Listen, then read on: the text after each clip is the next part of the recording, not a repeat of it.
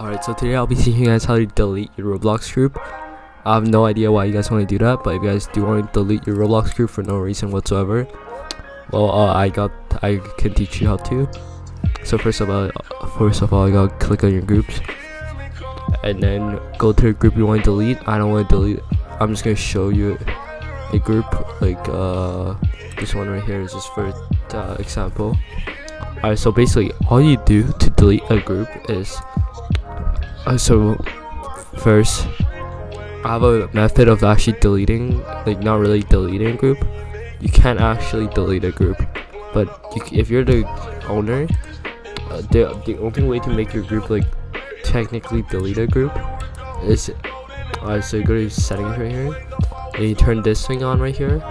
You turn this thing on and then you click on this thing right here and then click on leave group and then click on yes and then there you go. You can't there you go. Your group is technically deleted now